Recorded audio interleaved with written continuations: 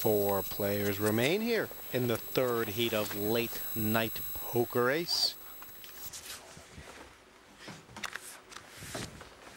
Eliza first to speak. Raise, And two Raise ladies for the lady. raise all in. All in from Chris Pass. behind her. And, uh, oh, he's in trouble. And Eliza's not laying these down. 1,700 in total. What a decision for John.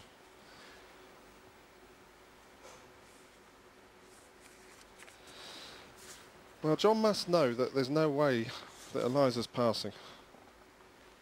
A raise from Chris is not enough for her to pass. So it's a question of whether he thinks one of them has got a pair bigger than his. This pot is massive. And John has 400 in the big blind. But does he want to play for all his chips? Wow, this is a big decision for him. He's played so well tonight, he really should pass. When there's been a raise followed total. by a re-raise, you can't expect to have tens winning.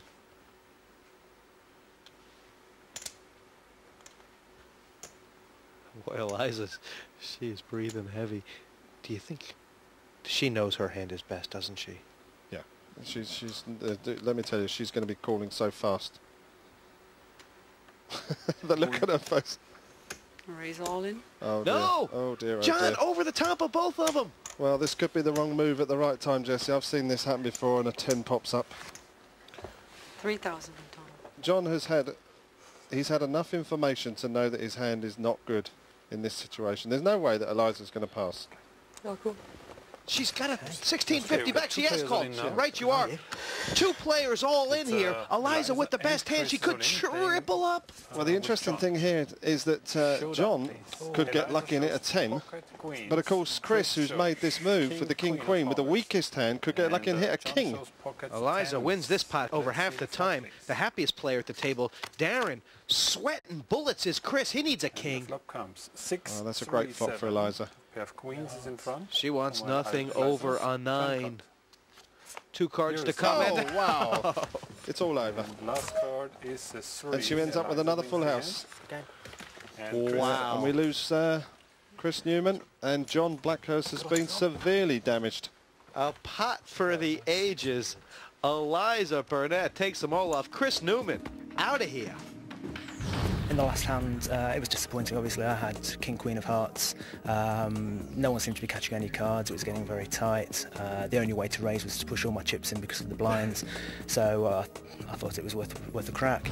It's too close to call at the moment. The um, it, any of the last four could have won it, depending on how the how the cards fell. Particularly with three people all in on that, that hand that I went out. Um, and I think John will be very close behind because it left him with very few chips as well. Uh, between the two, I really can't say. After that amazing hand, Eliza is now the big chip leader with 7,100. Darren watched it all from afar and is sitting pretty with 4,500. John's in deep trouble. Three players left, some poker to be played here. And John Blackhurst, the lone duckling in the middle of these two wolves.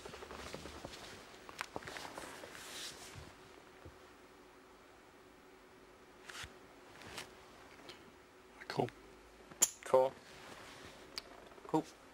Cool. Uh, this interesting play here by Darren. He just flat called, knowing full well that uh, John's going to go all in. And he's obviously hoping that uh, Eliza's going to check it down with him and, and, and they're going to be down to two players. They'll try and chop him up, and that pair pretty good for Darren. This is not the time to bluff Eliza. Oh, John Check. Blackhurst all in and needing a miracle. Darren checked immediately. Darren's quite happy to check this down. In fact, there's no card in the deck that can win John Blackhurst this pot. No, you're Check, right, Jesse. check. That's it. I'm Check. afraid we've just lost John Blackhurst from chip leader. He's out. check with a pair of checks for Darren. At the end of the day, it was just Let me see down the one one mistake. Six nine was the Nine high will be his Can swan win here. song. Nine three is for Eliza. So Darren wins the hand. The damage John for. John Blackhurst came with the two tens. Yeah. He's played a great game tonight. Just fell short on his way back to Weston-super-Mare. I'd like to think I played quite well. Um, I think I was, uh, we were quite an aggressive table. I felt. Be uh, interesting to see some of the. Uh, uh, the replays to see exactly what some of the cards were.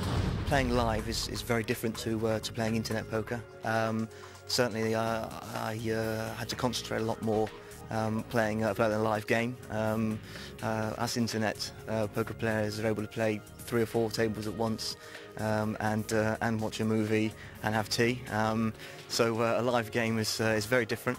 Um, I like to think I cope quite well, um, and and I'll I'll try again.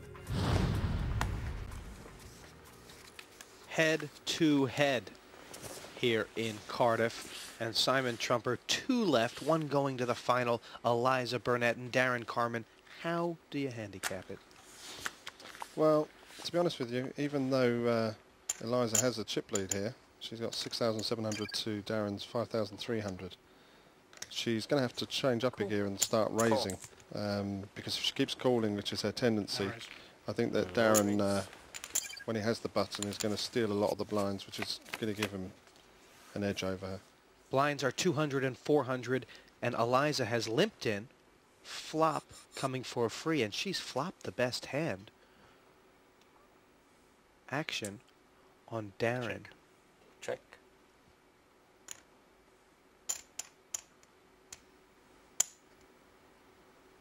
Eight. 800. Big bet from Eliza. Pass. Size of the pot will take the money.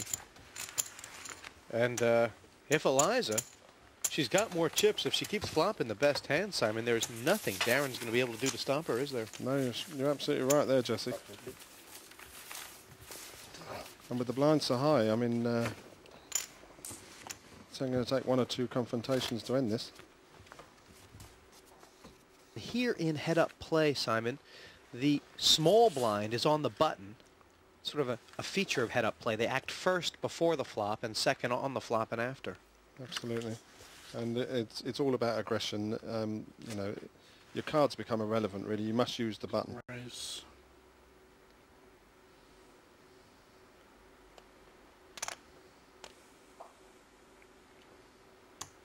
To eight. Raise to 800. Double the bet. Darren with a queen high. Cool. Well, he's, he's made a mistake here. Really, he, he must know that Eliza is not going to pass for a small raise. So if you're going to raise to to pick up the blinds, you've got to raise big. Straight draw for both players. You like Eliza's better. Check. She's open on both ends. Wow. Five or ten. Darren doesn't want to see a five, that's for sure. If he hits a pair of fives, 600. Eliza makes a 600. straight. He's made the same mistake again. He's bet too low. Go. See, she's Call. going to take a card. Well, Eliza not far behind. She may have won the pot right there if she raised, but as it is, a lot of cards for her. That is not one of them. Check. And Darren might be terrified. Does he have any idea that Queen High is leading? Check. Wow. Bingo. well, how much is she going to bet? Six, seven, eight, nine, ten is a straight for Eliza. She loved that card. Eight hundred. 800.